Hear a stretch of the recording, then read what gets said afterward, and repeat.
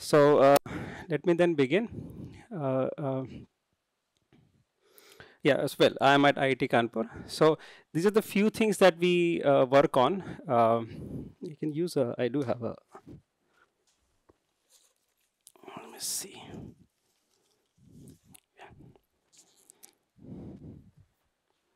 Right. So uh, as a group, these are the few things I work on. Uh, optical coherence in time, space, angle, uh, radial domain. We also use partially coherent light, that light field uh, with different correlation properties and use that for imaging, especially through scattering and turbulent media. Uh, we work on quantum state reconstruction, it could be in any basis uh, through coherence function measurement. That's just uh, one way, but quantum state reconstruction in general and I focus uh, uh, majority of my time also on orbital angular momentum, its detection, its generation, its entanglement, and what we can do with it. And also on quantification of coherence and entanglement uh, in, in, in of high dimensional quantum state. Uh, so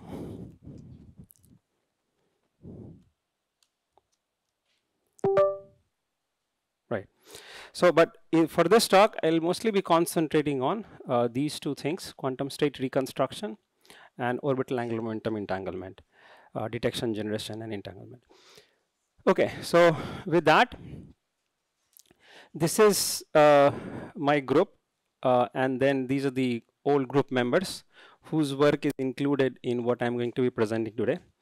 Along with my own group, uh, I have had collaboration with uh, several here, Professor Wanare, of IIT Kanpur, Professor Kedar Khare of IIT Delhi, Jonathan Leach of Heriot-Watt University, Mishkat Bhattacharya, Rochester Institute of Technology, Miguel Alonso from University of Rochester, and Martin Exter from Leiden University of Netherlands. So uh, what I'm presenting, these are also kind of part of that. So just a brief intro to uh, what orbital angular momentum entanglement is what I'm presenting is not nothing new, is uh, at least century old thing that people already know. So this is the paraxial wave equation written in cylindrical coordinate. Uh, one of the solutions to this equation is called the Laguerre-Gaussian solution, Laguerre-Gaussian modes. Uh, these modes, well, it's a mathematical structure, I don't want to go through the whole of it, but the main thing I want to point out that these structures or these modes are characterized by two indices, P and L, uh, and of course, since it's written a cylindrical coordinate, you have rho and phi here. So now you see the phi dependence of these modes appear only uh, through this function, it is the i L phi. And L is the integer going from minus infinity to infinity. P is also an integer going from 0 to infinity. So it's called the azimuthal mode index or OM mode index. So this is called the radial mode index. Uh, this is how these different terms look like. If I look at the intensity of these beams for different P and L value, that's how it looks. L equal to 0, P equal to 0, it's just a Gaussian mode. The, uh, the beam of this laser, the transverse profile of the laser pointer is very close to L equal to 0, P equal to 0 mode. Uh, if at P equal to 0, if I increase L, it becomes a donut mode or a vada mode. And as you increase L, it becomes a bigger vada and so on. Uh, if I increase P, then this adds just the rings uh, uh, to more and more rings to that. If I look at the phase profile of these modes, for example, here I'm uh, plotting the phase profile with p equal to 0 index of L equal to 0, L equal to 1, L equal to 2 modes. So it's a flat, flat phase profile. Here the phase profile changes by 0 to 2 pi in one rotation. Here it changes to 0 to 4 pi in one rotation. Uh, and if I look at how this phase profile changes as a function of z, this is how it changes for this. That phase profile remains the same, nothing changes. Here the phase profile makes a helix, and here the phase profile makes a double helix in the same distance. So uh, th th this is all known, uh, this was known uh, regarding OAM. What made this basis or OAM kind of famous and important uh, is this result in 1992. Uh, here, what they showed in this paper is that uh, in this Laguerre-Gaussian mode, if you take enough mode volume such that the total energy uh, is h bar omega, then corresponding to that, the total orbital angular momentum will be LH bar. So there's no extra quantization here, just a energy quantization. But if you collect enough mode volumes such that total energy is h bar omega, then the corresponding orbital angular momentum is h bar L. So now this gives the interpretation that in these modes, uh, per photon, the orbital angular momentum that you can have is h bar L. And h is an integer and then that makes it very exciting because for quantum computation and any quantum information, you need a discrete basis. We had a discrete basis in terms of polarization or spin, but now we have a discrete basis which is infinite dimensional, unlike polarization and spin, which is just two dimensional. Now I can have, L can go from minus infinity to infinity, so I can have a subspace which can be five dimensional, 10 dimensional, 500 dimensional, 1000 dimensional. So just add how we can explore these modes. So that made this, uh, the entire OAM uh, very exciting for this quantum information community, this result. okay, now just to give some application of uh, OAM, some that is already in use, some that you know are uh, uh, uh, in their process of evolution. So this is a result from 1994. This method came out there. this is called the STED microscopy, stimulated emission depletion microscopy. It's a very simple idea. So you have a you have a exciting laser. This is a fluorescent excitation laser, which is in the form of a Gaussian mode, and a de-excitation or depletion uh, mode, which is in the form of a Laguerre-Gaussian mode with a darkness in the center. Now you excite, de-excite, so the effective excitation area is much smaller than the actual beam and this way uh, you are actually even beating the uh, uh, you know diffraction limit and so on this is called super resolution and if you compare confocal with STED that's the quality you can actually see. This even got the Nobel Prize about 12 years ago. Uh, for more quantum information related application, these are the results from 2000, uh, 2012, 2013. There they showed that using orbital angular momentum, you can do terabit free space data transmission. This is free space, and then these were done in uh, fibers uh, that you can actually use orbital angular momentum mode, multiplexing, demultiplexing for data transmission. Then this is the result from 2017, where they actually showed using high dimensional uh, these modes, uh, the o OM carrying modes, you can do quantum cryptography. Uh, this is over 300 meters. They, uh, here they are doing uh, cryptography through outdoor underwater channel this is just to show the kind of potential of these modes, how this can be used, and everybody's just trying to explore the higher dimensionality of it. So here it's uh, it's not 100 modes they're using; they're just using seven modes, and seven modes, and and how much you can kind of do with it. Here, to 2020, they have done a high dimensional quantum gate uh, using these uh, uh, these modes. Again, I don't want to go through any of it, but just to show the variety of thing that people are uh, either using it or are in the process of getting there. Uh, this is efficient distribution of entanglement, high dimension entanglement through 11 kilometer fiber. Uh, free space you can only do a few hundred meters, but fiber you can actually uh, uh go kilometers. Uh, and this is the result from 2023 last year, where they actually made a new kind of fiber, which can have up to 50 modes, 50 modes, and have it up to a kilometer without much loss and so on. Now, this talking to Siddharth, and he thinks this can be, you know, the entirely new way of now doing communication. It can completely change it, but that part we don't know right now. But this looks definitely very promising.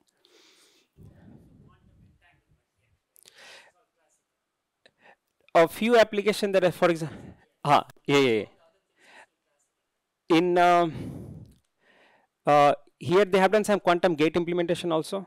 Uh, but uh, again, this is QKD, so single photon, not classical, so single photon.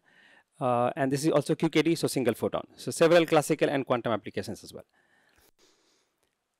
Okay, so why is everybody excited about using high dimensional stuff for uh, uh, uh quantum information? Uh, because it gives you higher security in communication, gives you enhanced information capacity, gives you high noise robustness. You can have more noise in the system and you can still correct for it. This is compared to just having, let's say, spin basis or polarization basis, two-dimensional basis, noise tolerance is not as much. So that is the uh, advantage you can get. So these are the, you know, big points that one would kind of put in effort for, and that's why people are kind of excited. Uh, what is the problem? Why are we not there yet? So of course, these are, most of it is kind of theoretical. Yes, you can have these benefits, but are we there? And if we are not there, what is the problem? So the major problem with the high dimensional modes is still, well, theoretically we can do it, but still generating it in a controlled way and also detecting it with uh, some efficiency, that is still a problem. That is still, uh, uh, uh you know, we are there, but not there completely yet. So first I'll just go through how we generate these modes and then so that I can kind of uh, uh, highlight more as to what exactly is the problem. So how do you generate these orbital angular momentum modes? The uh, very basic way of doing it using what's called the spiral phase faceplate. Spiral phase faceplate is just a glass piece uh, whose thickness is varying as a function of phi. And if you have the variation uh, fixed properly, then you can have a, let's say, Gaussian flat uh phase front giving you a helix, uh, helical phase front, and then this carries orbital angular momentum. Now, but of course, with this, you can only do one at a time. So if you want L equal to 1, you have one device, L equal to 2, you need to have another device, and so on. So uh, this you still use in some purpose, but, but majority of the time, what people use was called an SLM, Spatial Light Modulator. What it does, it is an electronic device, and you can put a kind of uh, hologram sort of, uh, you know, on that uh, now with this hologram, if you have a Gaussian beam, flat phase front beam coming, uh, it gives you different diffraction order. If you sit on the first diffraction order, then that has your L equal to 1 mode. For example, I have put a specific hologram for L equal to 1 and then first diffraction node, I have my L equal to 1 beam generated. The efficiency of this process is pretty bad, maximum 10 to 15%, but the purity is very high. So you get a very uh, pure OM carrying mode there. But of course, if you put, let's say, one watt, maybe 10% or 15% of that you can actually convert. So efficiency is bad, but purity is pretty high. If you want to generate something else, you keep on sitting on the first order, just electronically change your hologram, let's say L equal to 2, and now you have L equal to 2 beam there. So this is just L equal to 1, L equal to 2, but you can have any superposition of all these modes that you can generate. So it's a very versatile, and that's what most people actually use it.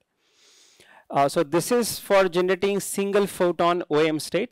Now if I want to generate entangled photon state, how do I do it?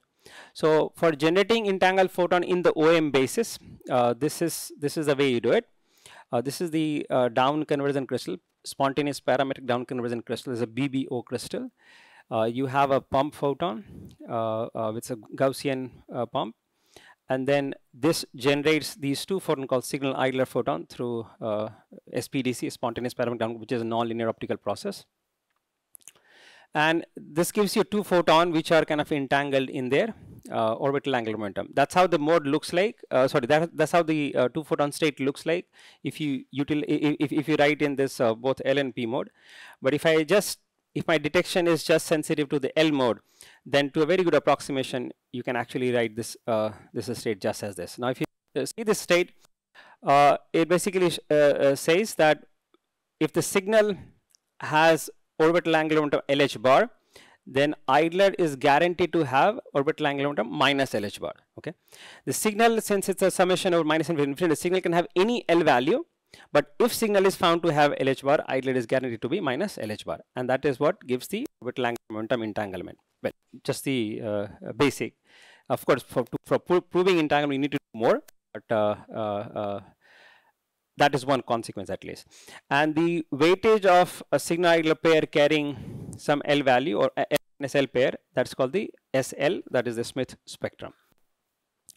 And uh, if you have just a BBO crystal typical setup, this is the kind of spectrum, SL spectrum that you actually get. This is a decaying exponential kind of uh, setup as a function of L that you get. Now, how people make different OM state is pump can be an OM beam in general, but here for to make it simple, this is just a Gaussian beam. With a Gaussian beam, this is the kind of profile you get.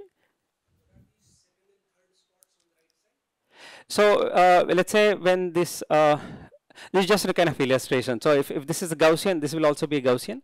If this is a L equal to uh, 1 p equal to 2, then that, that kind of L equal to minus 1 p equal to that kind of combination you will have. How do you?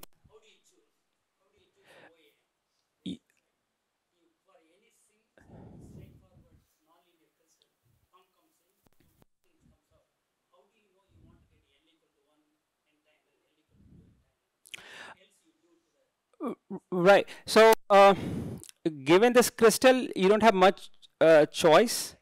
uh, but I'll come to that a little more. But for example, for this crystal, this is by default what you get. Right now, I'm not imposing any choice or any control way of doing it, which is what my aim is, by the way. But here, this is what I get by default. Uh, that you know this is the this is the strength at L equal to 0 L equal to 0 for signal idler. This is the strength at L equal to 1 minus 1 this is the strength at L equal to 2 minus 2 and so on. Beam what yes yes yes. All all yes yes yes. So it is very very broad. Or this is a cartoon but typically i'll show you the results also. We have gotten uh, these uh, states with 250 dimensions also so we can get 250 dimensional OM modes uh, that we can produce in the lab. Here's just a cartoon, I'm just showing a few. So the way uh, you do some choosing, I mean, you're talking about choosing, is uh, it's kind of like little dumb. Uh, it's a, using this post selection. Just cut off what you don't want, keep the rest. So that's how if I want a rectangular spectrum, I'll just cut off uh, what I don't want and then just keep the rest. But so, but the post selection always causes uh, issues. Uh, the, if I'm using quantum information, the security will be the first issue that will actually show up. So ideally what I would want is to be able to generate uh, this OM entangled state without post selection. So this post selection part is a huge limitation that we have here. Now coming to the detection, what is the limitation? So uh, the way we detect OM, there's several but I'm just showing one which is the most widely used. Uh, uh, this came up in 2001. This is just the exact opposite of how I showed the generation method. so I have this input field which has can have all kinds of L value. I don't know, this is an unknown field. And the OM distribution actually I want to uh, uh, detect. So how do I do it? Again, this is an SLM with certain SLM, uh, certain hologram that I put. And then uh, I focus it onto an objective lens and on a single mode fiber. Why single mode fiber? Because single mode fiber collects only L equal to 0 mode. It's just uh, fundamental L equal to 0 mode it collects. Uh, now with this, let's say for example, if I put an L equal to minus 5 hologram, and I have an input field that contains all these modes, you know, from, and I'm just showing L equal to 4, 5, 6. Now, what this L equal to minus 5 hologram will do, it will actually change the OM index of all these uh, modes after this uh, uh, a hologram. And so this L equal to 4, 5, 6 will become L equal to minus 1, 0, L equal to 1. Okay. Now if I am collecting it using a single mode fiber, single mode fiber gets only L equal to 0 mode. And this L equal to 0 mode with L equal to minus 5 was actually L equal to 5 mode here. So l equal to minus 5, whatever I that actually was L equal to 5 in the incoming mode. Okay.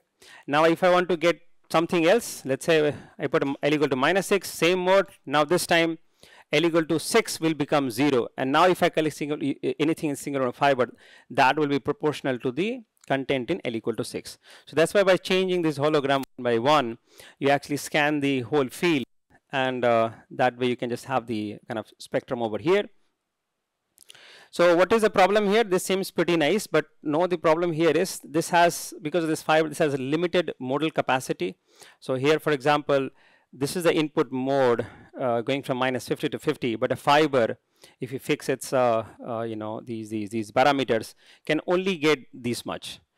So you can also see it has non-uniform modal capacity. The, the efficiency with which it detects L equal to 0 is very different than the efficiency with which it detects L equal to 1, 2 and so on. Here is a little exaggeration just to kind of bring the point uh, uh, here. And of course, then since it has, it doesn't have the uniform modal capacity, modal efficiency, it does not, uh, you know, get the true OM spectrum. So here, this is the true, should be the true OM spectrum, but this is what you will actually detect using a fiber. So the the the most uh, widely used method currently has all these limitations. We have problem with the uh, generation. We have problem with the limitations with the uh, uh generation. Uh, uh, sorry, detection. So what I want to show you is our work in you know in this direction, where we have found efficient ways of detecting OAM of photon and also post-selection free way of generating OM entangled state. And if I, uh, if, if there's time, then I can also talk about the form of entanglement that we found that revives itself uh, even in the presence of turbulence. Yes. Mm -hmm.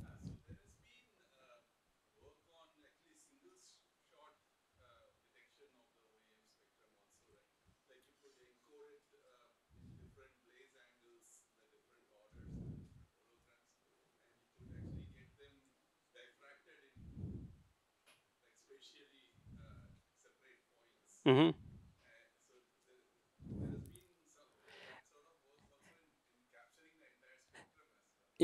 You're talking about the Bob Boyd Miles Padgett that work? With the multiple copies and the, yeah, okay, okay, okay, okay, okay. Uh, uh, yes, uh, I, will come back to just, uh, uh, uh, I won't come back to, but now that you have I'll actually connect, connect that to what I have it over here. Huh? Um, any other? Okay. So, so for the efficient detection of OAM photon, uh, so first of all, what do we mean by uh, photon detection? Uh, so photon detection would mean that of course I have a light, could be single photon, just could be even tube light, everything is made of photon. Uh, uh, at the basic level, everything is quantum, uh, so th there's no issue. Now, so what we mean by we have a we have light, and then we have single photon detector. That is the most important part. So we do detect single photon, but that's not it. We also need to have what basis we are doing the detection in. So I want to detect single photon, but in what basis? So let's say uh, if I want to detect the single photon in position basis, then what I need to do? I need to do nothing. I just have this camera and the pixels of these different pixels of the camera correspond to different location of the photon. So this pixel basis actually becomes my position basis. So if I detect a photon here, that means this is a single photon at this location, single photon this location, and so on. If I want to have, if I want to detect the momentum of a photon, then what do I do? I have my single photon camera. I put a lens and keep the camera at the back focal plane of the lens. Okay, and then this uh, uh, with this setup, the each pixel what I get correspond to different momenta of the photon or spatial frequency. So now if I get a photon with the lens being here and the, this camera being at the focal uh, plane, this will correspond to one momentum, this will correspond to another momentum, single photon and so on. So now I say I've detected the momentum of the single photon. Frequency, I put a prism and then each point, uh, well it should be maybe uh, just a one dimensional uh, uh, e each point can then be correspond to the frequency of a photon. So now the question is, if I want to detect the OAM of photon, orbital angular momentum of photon, what do I do? What is the device that I want to put here? Okay, uh, that is a big question. This has been a big question and that is still is a big question and then that will connect to what you were just asking kind of like a moment ago. Uh, so uh, we don't have a perfect answer yet. There are several uh, attempts, but we don't have a perfect answer yet. So I was also working on it for quite some time, but uh, still not successful. But uh, one idea that we worked on is that if you have a converging lens, uh, the, what a converging lens does, you have a plane wave, it just focuses the plane wave to a point. So it converts a plane wave to like a delta function to within uh, some point spread function, the width. And if you have different plane wave, it focuses this to some other point. So uh, the, the, the, the converging lens is a sorter in that means especially separates uh, uh, uh, light containing different momenta value or photons containing different momenta value. Now if you look at the transmission function of a lens it is of the this type x squared plus y squared. So we thought if we can do a, what's called an angular lens that just have a transmission function which has this phi square just like x square y square we have phi square uh, then what happens? Okay, and then this beta rho we put from some other experience. This is basically a trial function. So this is this is how the uh, uh, this, this piece would look like, and the idea is whether you know this L1 and L2 mode, whether they, they focus at different uh, uh, you know azimuthal position, and the answer actually is yes. This is how it works, and this is the result we got uh, that uh, this is this is like the single shot that just one element it comes in and then you find that different OM modes are focusing at different point. So this is almost a perfect solution except that I cannot sort fully.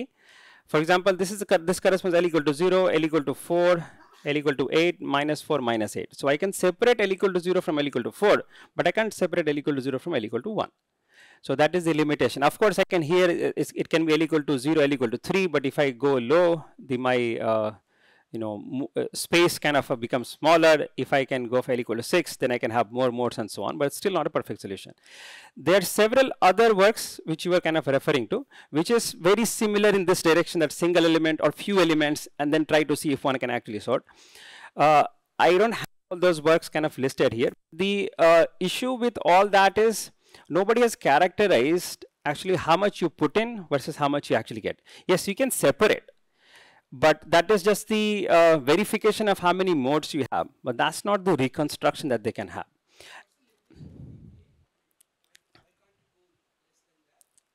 Uh, then, so for example, here I have a 1, 2, 3, 4, 5, 12 modes, for example.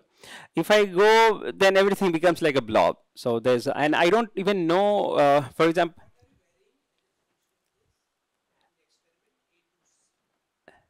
A to C. So, okay. So this is the uh, alpha beta parameter I was showing. This is alpha and this is beta. So I'm just varying this alpha and beta value.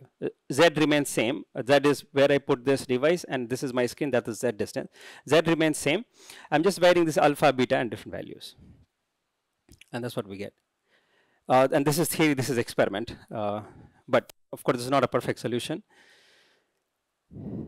Right. So there again, there are other efforts very uh, uh, in in a very similar direction for for sorting the modes, but so far uh, uh no perfect solution uh, yet. Maybe there is, and that's what we would like if there is a perfect solution there.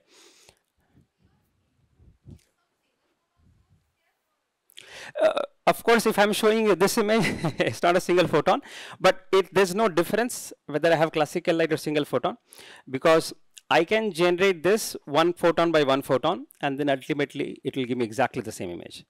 So, so as far as it being uh, working at single photon highlight level, there is no difference.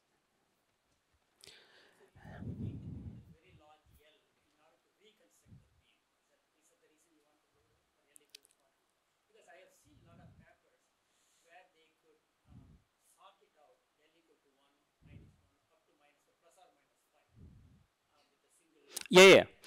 Correct, correct. That is not.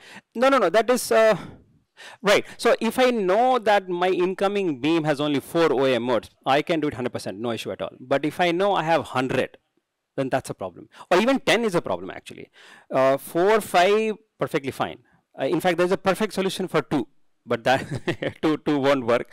And then there's a perfect solution at this concatenated Mach-Zehnder interferon. I'm not putting all that in because not, nothing is a perfect solution yet. So, but it becomes very complicated very soon. So, four, four modes, no issue at all. One can actually do. But but more than that, uh, the complexity you know increases exponentially. And even theoretically, there's no perfect solution yet. Yes. Here I have to know because I know what I'm putting so that I, I'm I'm number of modes.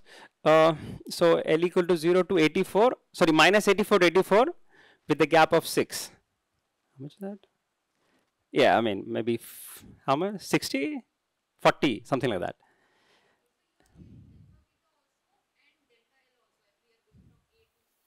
Huh. So here, here experimentally, we are generating all these modes using an SLM because I have to know what it is and then see what I'm getting so that I can check you know, what the reconstruction was and how good the reconstruction was. So here I do know what I'm actually sending in. Here also, in the theory also, we send and then we say what kind of pattern we get. So the pattern, there's a pattern matching here is what's going on. But I do know what uh, input mode. But now that I know this works, then I can just uh, put in an input, uh, unknown input and then use this uh, uh, thing for that. Yes. yes.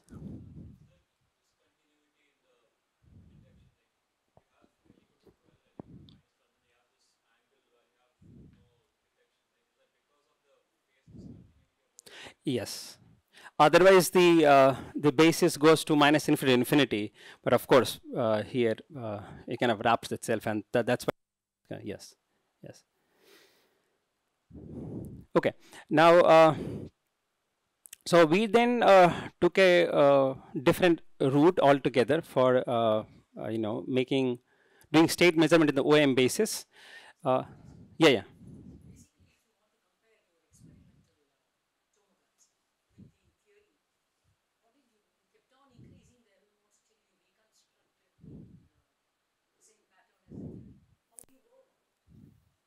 Uh, here, uh, you just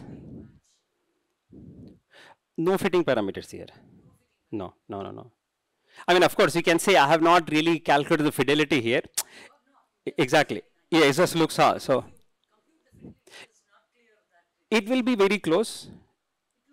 Yeah, so I, I'm not showing it here. Then we what we did, we actually put a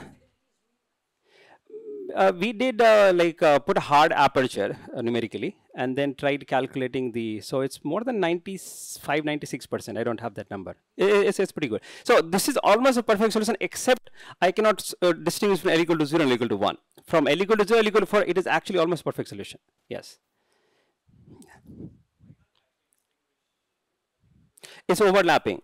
Yeah yeah. So this this this, this pattern l equal to 0 and 1 this is just overlapping so i can't separate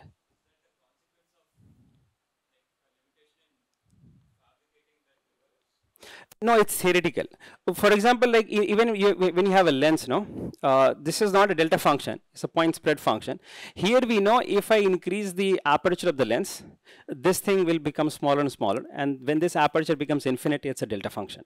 But here i haven't identified that knob you know which will actually make the width of this smaller and smaller that we have not been able to identify. So that is still even, even theoretically i don't know how to do it. Yes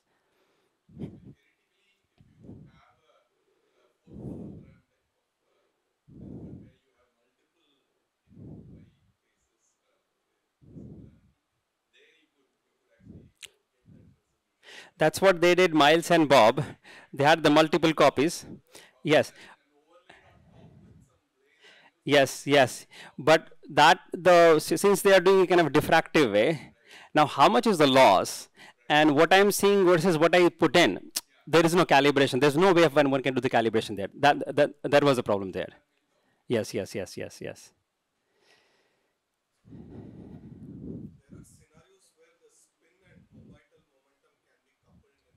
Mm-hmm. So is it possible to maybe use that or like can we uh, transfer? I mean, will okay, this is maybe a more general question. If there is a way to do spin with light, so would, would different L values coupled to the spin differently? Yes, there are there are those methods, but yes, but with that you can only go and sort two modes and so on. But if I want to do like a 10, 20, 100, then that will not work uh, beyond a point. Yes, yes, yes, yes, yes. The Q, Q plates and so on people do use, but you can only do two modes there, not more than that. Yes, ah, yes. Okay, so um, so yeah, then we change the direction, and then this is very different way of kind of doing the detection because if you want to use, I mean, I wanted to get into the OM uh, high dimensional uh, basis for QKD and quantum information, but there's no detector, no way of, uh, so that's why almost last seven, eight years I've been kind of working this field. Uh, and I think now we have very close to uh, uh, a very good solution, if not perfect solution. So if I write the quantum state in the orbital angular basis of a photon, it looks like this, the orbital angular momentum basis, this is just the density matrix. Uh, of course, one in principle knows how to reconstruct the density matrix. That's called the quantum state tomography. But quantum state tomography is, although known how to do it, it's very, very difficult. What we were after is finding efficient way of doing quantum state tomography. So you can make things efficient if you only utilize some symmetry, some structure of the density matrix. So first uh, was this, this, this our very first work that if let's say the density matrix, if we have the prior information, the density matrix looks like this, that's a diagonal state, diagonal density matrix, then we have a very uh, efficient way of measuring OAM. So this was the uh, uh, uh, our way of doing it. Very simple Mach-Zehnder interferometer, nothing complicated. But this Mach-Zehnder interferometer has odd and even number of meters in the two arms. That's the only difference. Otherwise, just a regular Mach-Zehnder interferometer. Physics that works here is a mirror actually uh, uh, reflects upon reflection e to the minus IL5 mode will become e to the plus IL5 just the that's the only thing. Now with this physics if I uh, send in this kind of density matrix uh, to this interferometer then what do I see at the output of this interferometer? I won't go through the entire math but just want, want to show the kind of output of this interferometer. For a certain phase difference between the interferometer it looks like this. Some you have some we can have some background noise, and then uh, you know for this K1 term, if only this arm was open, K2 term, if only this arm was open, and both arms are open, then this is the cross term that you actually get. This W of 2 phi, that's called the angular coherence function of the field. Of course, delta is the phase difference. So uh, again, I'm not going through the math completely, but if somebody is interested, we can go uh, uh, more deeper. So here, uh, what is hap what is happening here? This is the intensity we get. Now, what we do is we take this intensity pattern at two different values of delta. Okay. Now, if I do that, then I have this difference intensity uh, at these two different delta values, and this difference intensity uh, then doesn't have this k1 k2 term and if the background noise is constant uh, between these two shots then this delta in is also zero and so what I have is this difference intensity image is actually proportional to the angular coherence function of the field coming in and for such a diagonal density matrix angular coherence function and spectrum which is the diagonal element they make a Fourier pair so just by measuring the difference intensity, I can actually get this and through this in by inverting it, I can calculate the spectrum. That's a very efficient way of measuring the OM spectrum. So two intensity shot and get the whole spectrum. Uh, this two mirror. Two mirror, there's no advantage, just uh, experimentally, you know, one mirror is almost impossible. So that's why just two mirror.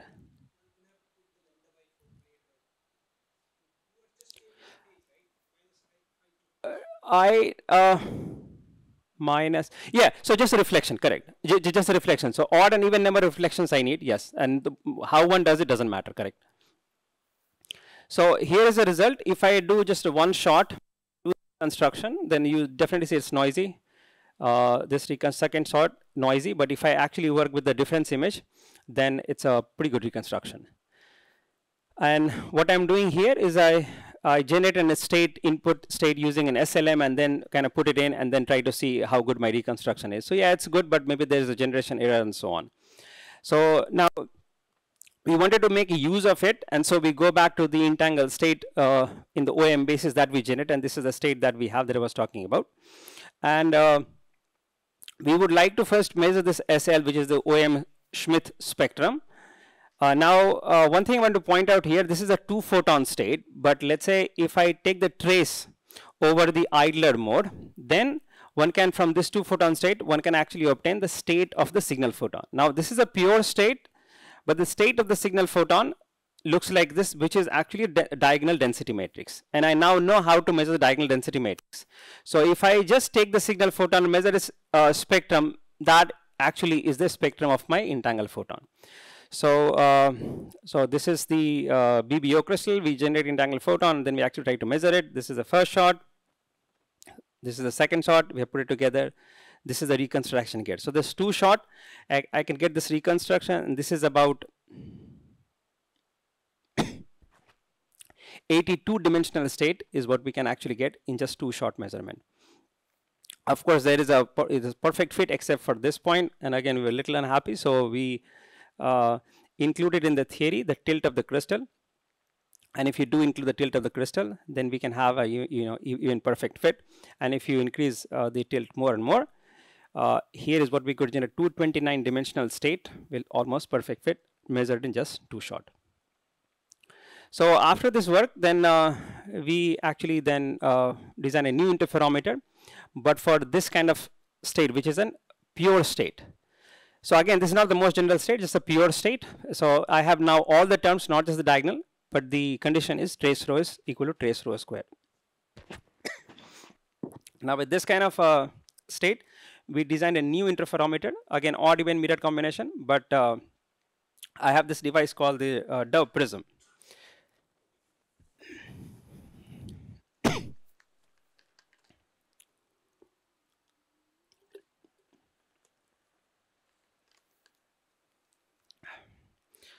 Now, what a Dove prism does is it rotates the uh, wave front of light going inside. Anything goes inside, it just rotates the wave front. If I'm looking at you through Dove prism, my face will completely rotate by, you know, uh, 4 pi if you rotate the Dove prism by 2 pi. So using this, and we design a nine shot trick and technique, and that we can actually measure the uh, uh, uh pure state in the OM basis here it is up to 11 dimensional, more than 95, 90% uh, fidelity that we are getting. Uh, after this, more recently, we have designed, uh, developed a method for a general density matrix. So the density matrix is, there's no restriction, but the detection wise, we are only measuring the diagonal elements, okay, which is the spectrum. So no constraint on the uh, density matrix incoming, but we'll only get the diagonal element. And of course, if I get everything, that's the quantum state tomography, and there's no efficient method for that. But if I am interested only in the diagonal, then I can have an efficient method. So this is our interferometer. Now you see there's a Dove prism here, odd even, uh, uh, uh, sorry, there's no need for odd even here, or we can have odd even also. But the major point is I have a Dove prism, which I will continuously rotate. And with the continuous rotation, if I, again, I won't go through the math, if I do the uh, two shot subtracted intensity, then I would be able to kind of uh, get the spectrum, uh, in this case for a general density matrix. But there was two problem. One was this commercially available Dove prism, when you actually rotate the beam instead of in addition to rotating also shifts laterally okay? Uh, either uh, this lateral shift or you can have this angular shift and so on.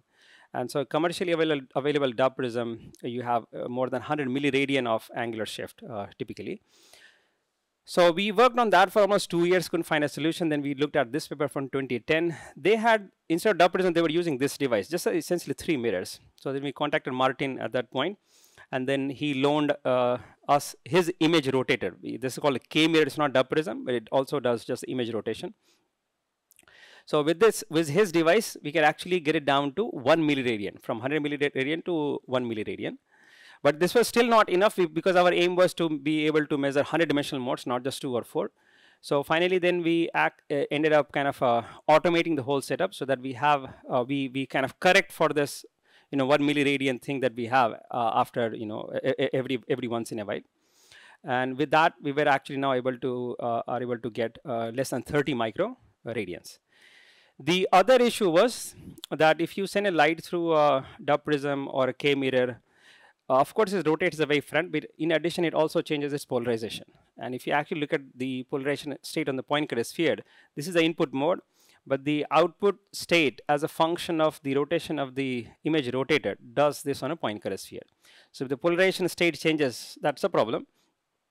So we found a way of kind of quantifying the polarization change. And then we also find a configuration of, uh, sorry, image rotator that minimizes this polarization change. So from this pink, which is supposed to be this, we can actually get it down to like this.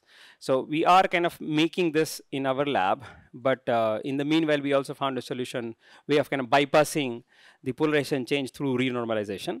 So what I'm, the results that I'm going to show you will be through renormalization. But if we don't do renormalization, that will improve our signal to noise a little more.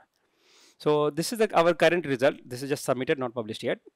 Uh, so we have now kind of like a broadband uniform efficiency OM detector. So all the three uh, uh, issues that I was pointing out, I, we feel that we have actually fixed it. If you have a discrete pure state uh, uh, input, uh, we can actually get it to be this 98% fidelity. Here is a general mixed state. Uh, we can also get it to 98% fidelity. This is a diagonal mixed state. Uh, this is, of course, this results looks much better than this. And the reason is this general mixed state I was producing using SLM. And there's a, uh, you know, generation error in SLM. I didn't know what was it, but, but what you were pointing out, maybe it, it could be that uh, there's, there's really no control I have. But here, the I'm not generating my state using SLM. I'm just using SPDC output as the uh, state, and I know how to characterize it. So here, probably there's no generation error, so the fit is much nicer. So we can get it up to more than 99% fidelity. So that's showing the broadband uniform efficiency UM detection. Uh, and just to show the uh, comparison with the uh, with this uh, fiber-based method for these setups, the best after uh, uh, you know optimizing all these parameters. This is actually theoretical value. This is our, our experimental result with my detect our detector, and this is what you can get with the single fiber base. So you see, even if the mode is from minus 50 to 50, the fiber can only get up to minus 15 to minus 50, plus 15. So the modal uh, the width is not that much, efficiency is also not as much, and of course you don't get the true spectrum.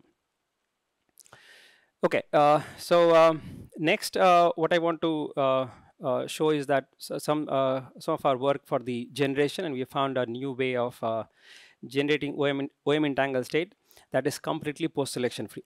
Yes.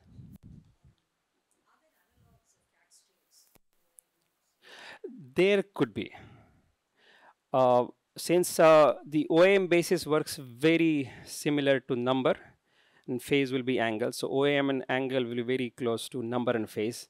So one can in principle, but uh, uh, I haven't done that. But uh, maybe when I show you this work, there I think we can have a very we have very good control, not perfect control, but very good control, and maybe those things can be done. Yes. Mm -hmm.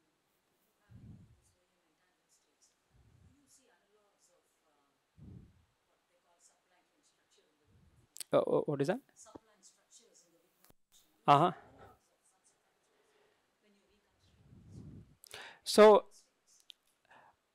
it definitely uh, correct, correct, correct.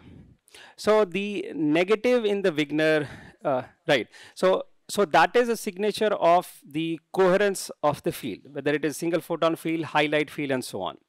Uh, that is what sometimes we will also connect to the non-classicality that the classical field. So here also, uh, if I just do in the OM basis, there will be a structure. If I actually, now I think probably what you're asking, if that structure can be connected to the OM entanglement, that I don't know. And I don't think anybody has done it. Huh. Yes, yes, yes, yes. I think there should be, but I don't think if anybody has done it. Uh, that, that, that question I also have in my mind for quite some time, but yeah, I have not kind of uh, really started working on it, yes. But there should be something like that, yes. Uh, yes, yes, yes, yes, yes. So we can have two separate Wigner function for this particle, that particle, and one Wigner function for two particle state. And with all these three, one should be able to have some connection of entanglement. So I am actually doing a little bit of that when I'm saying that my fifth point, uh, quantifying coherence and kind of entanglement, or rather quantifying entanglement through coherence channel. And Wigner function is nothing but just a coherence. So that is part of the plan, but again, I have not been able to do much there. And I have not seen anybody kind of, uh, you know, have that kind of quantification method for entanglement, but it should be possible, I think. Okay, so uh, right, so uh, th this is what I was pointing out regarding the generation of uh, OM entangled state that uh, ideally one would want to have any state, but typically what you do is just select a part of the state. Uh, recently, we came up with this method that uh, let's have a, uh, these OAM mode pump with p equal to 0 uh, or several p values. This is the coherent superposition of all these p values. Uh, these alpha 0 to alpha n minus 1 are the weightage of all these different p values. And the question is, by optimizing these alphas, can I generate the spectrum that I want? So we spent some time kind of fixing it uh, uh, theoretically, analytically, but we couldn't succeed. So uh, we are now doing kind of uh, numerically and just kind of experimentally that I have some target spectrum in mind. I put a combination of these P modes, see what the spectrum is. If it's not there, then just modify it, kind of do it few around, and it kind of gets there in few iterations. And this, uh, we kind of quantify that through this coefficient of determination. So I'll just show you the uh, kind of experimental setup and experimental result. So this is my pump, uh, some optics. This is the SLM where I put different, uh, you know, P mode combination. That's my BBO crystal. And this is anyway my OAM detected, which I was showing just a few slides ago. So here we detect the OAM, and it goes here, changes the combination, and you do a few round. Again, I won't go through the math. Math is similar, and this is the result we actually get. Uh, so here we are able to get the Gaussian spectrum with 99% fidelity, triangular spectrum, very similar efficiency, but for rectangular spectrum, we only get 85% fidelity. Uh, the, the reason is here for uh, producing these modes, I was just using five uh, P modes, P equal to 0, 1, 2, 3, 4. And just by that combination, we're trying to see if we can have this control. So of course, this is 90 more than uh, about 99%, but for the rectangular spectrum, this is only 85%. Uh, so we sent it to the referee and he said, well, this is too less. we can reach 90, we can take it. Fine. So uh, yes, yes, yes, yes. That, that, that was a complaint. yeah, yeah, exactly. so we took that complaint kind of seriously. Uh, and then we just did the numerical simulation. The reason was, since I'm just using 5P modes, uh, with 5P modes, reaching just sharp edges is very difficult. Just if you just do, uh, uh, you know, if you think of any transform, uh, sharp edges, you require infinite number of modes and you can't really get it. So if you increase the number of modes, then of course we could reach more than 96% and so on. Uh, but there was some practical limitation. So we had to kind of uh, more P modes as you increase the P mode, the beam size becomes bigger. If the beam size become bigger, I need to have a bigger crystal. So we order a big, bigger crystal. We went up to n equal to 8 modes uh, and then the efficiency, sorry, fidelity was up to 90%. Uh, this limitation is actually just a practical limitation because uh, in this setup, we were not doing any automators uh, kind of optimization optimization was not automated. It's more like manual. We see what we get and then change manually this coefficient. If you so earlier we were using 5 millimeter by 5 millimeter or transverse then we bought 10 millimeter by 10 millimeter. Yes and then we could fit more modes. 100 milliwatt but i think it was not 100 milliwatt because once you have this slm uh, essentially it was like 5 to 6 milliwatt is what we were using and that was enough uh, for, for what we were doing. If we could automate then I think very easily, uh, we didn't have uh, that much money. So if you could just automate uh, 20 and 30 with all these new codes of machine learning and all that, this 20 modes, 30 modes is very easily achievable. And this thing going to 95, 96, 98% also is very, very easy. But uh, that is not the whole point. The point is, uh, of course, this is maximal entangled state, but now um, there are results which shows that there are uh, uh, quantum information protocol, especially through if the if the channel has turbulence and scattering, then you don't want a maximal entangled state. You want non-maximal entangled state, which, which have optimal performance. So the whole point is by having control on these P modes, one can generate any entangled state, non-maximally, maximally, and so on. And this provides kind of like a control. With n equal to 15, I mean, very easily 96% can be achieved. Okay, so maybe you have five minutes? Okay, 10, okay. Okay, so uh, then I'll just talk very quickly about uh, uh, this this uh, uh, this recent work that we did. This is about OM entanglement and how it kind of. Uh, so now in the in the continuous variable basis, we have entanglement again. You have to have it in basis. We have polarization entanglement. We have time energy entanglement, position momentum entanglement, angle OM entanglement. So entanglement is always in some basis uh, we know how to quantify entanglement only for two-dimensional discrete basis. But if the entanglement is in position, momentum, angle, OM, we know how to verify it, witness it, but we don't know how to quantify it. That is still a problem. So in the uh, continuous variable of position momentum, this is how we understand entanglement, which is called position momentum entanglement. And it is called uh, EPR correlation or, or EPR entanglement. And this is how it works that if you have this entangled photons coming out and if this is where you detect the idler photon let's say at yi equal to 0 and then you go check what is the area or distance over which you detect the signal photon then it will have some value let's say delta ys and this is called the conditional position uncertainty of the signal photon given that the y uh, sorry the idler is already detected okay similarly you can have you can measure the momentum of idler and then ask the question what is the conditional momentum uncertainty of the signal photon and it turns out that the uh, product of this conditional uncertainties can be less than 0.5 h bar for entangled photons. And in fact, if it is less than 0.5 h bar, then you call them position momentum entangled, otherwise not. Similarly, you can have it for angle OM as well. For example, if I detect uh, the idler photon at theta i equal to 0, what is the angular width over which I detect the idler? That will be its conditional angle uncertainty. Similarly, I can have conditional L uncertainty and if that product is less than 0.5 h bar, we can ignore this product. Uh, then we can call it angle OM entanglement. So again, this is just a witness, it's not a quantification, it's just a yes or no kind of answer that we can actually get from here. Now in a regular SPDC or BBO crystal setup, if you generate these photons, they are indeed entangled in position momentum. But after some Z, if you do this test, you find that they are not entangled. Okay.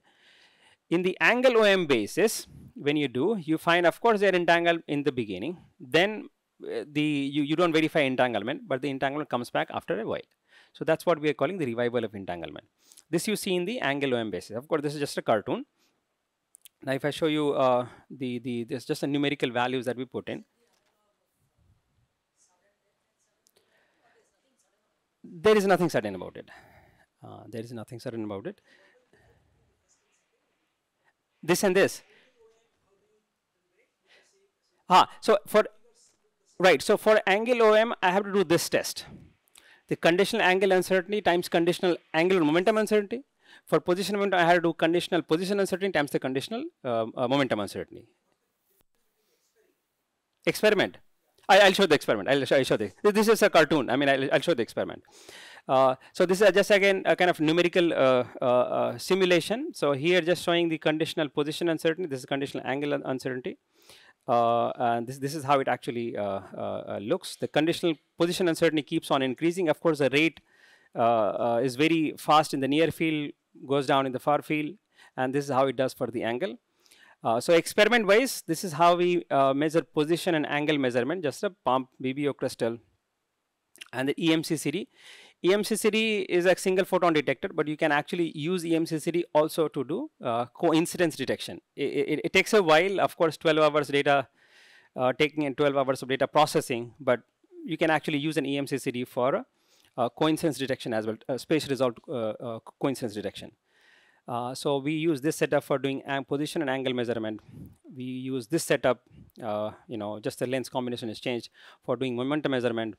And this setup where we have a split and then using, you know, fiber uh, for the angular momentum measurement. Ideally, I would like to get rid of this, but I think what we have in the lab uh, what I have showed in the other part.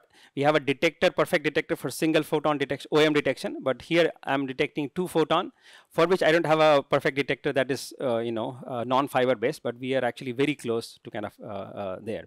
So that's a setup for orbital angular momentum entanglement, and if you put it all together, these are the experimental result. That's a simulation, that's the experimental result. Turbulence, just a room heater that we, small room heater that we actually just put. So so here is the result. Uh, uh, these are the kind of external point. Of course, you see up to a few centimeters, this is entangled, but you lose entanglement, doesn't come back. But in angle OAM, uh, yes, you do lose it, but then it does come back. Uh, so you revive your entanglement z equal to 24 uh, centimeters. So the point is, if it does revive, then can it do the same thing in the presence of turbulence as well?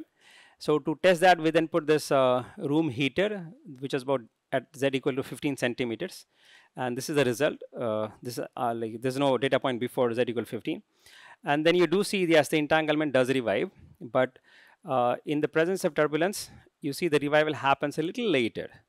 So if this was z equal 24, this becomes z equal to 35 centimeters. Uh, uh, and of course, if there is if the strength of the turbulence is stronger, then of course the revival will happen a little, you know, even further away. But the revival does happen, and once the revival happens, it stays entangled. It, it, there is no kind of losing of it as long as the trace of the system is preserved, as long as you collect the entire light. So that's how it actually works.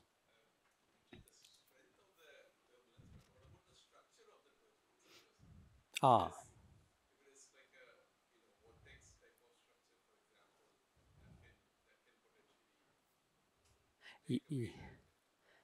Yeah, I, I don't, that, that question I don't know. Yes, yes, yes, yes. It, it, it can uh, uh, it can damage it can damage it more strongly. Yeah, so that, that, that I don't know. Correct, correct, correct.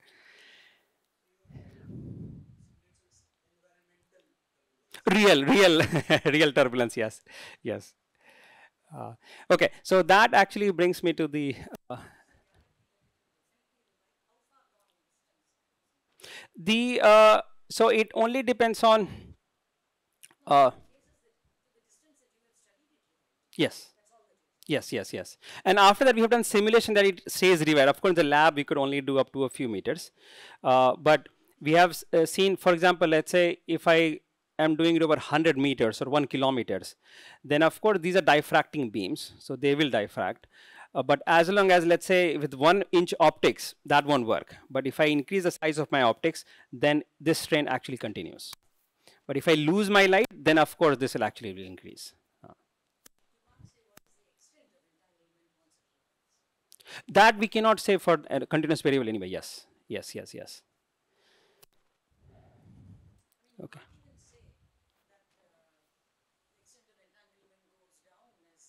Correct, correct. So that is correct. So we can only have it a yes or no answer. The, actually, the natural question, of course, I think sir maybe is all, already there in the audience, is that then this is all you know just a unitary transformation. Where does entanglement go? Uh, the, the quick answer to that is uh, it entanglement kind of migrates to other bases because I can have position momentum, I can have angle OM, maybe it shows somewhere else because unitary transformations are not supposed to, I mean, if I don't look at turbulence, just this one, unitary transformation are not supposed to, you know, destroy anything. Uh, but but this is if if if there is a quantifier of entanglement, it will not see I'm guessing it will not see this kind of effect, but a verifier of entanglement, which is what we have for continuous well, it does see that effect. So you can't really be sure if you do have entanglement in the angle OM basis, you know, let's say in this region, but here you definitely are perfectly sure. Okay, so that brings me to the summary. So what I have kind of uh, shown you uh, is some uh, efficient ways of measuring OM uh, of photon, and maybe we'll within next six months or something, we'll also have a, uh, efficient detector for the uh, entangled photons. This is just for single photon at this point. we, I've also shown you a way of doing uh, way of generating uh, OAM entangled state in a post-selection free method, which will be which could be very important for uh, doing secure quantum information protocols and so on, and a form of entanglement which revives itself through in the presence of turbulence. So thanks to the funding agencies, and thank you for your attention.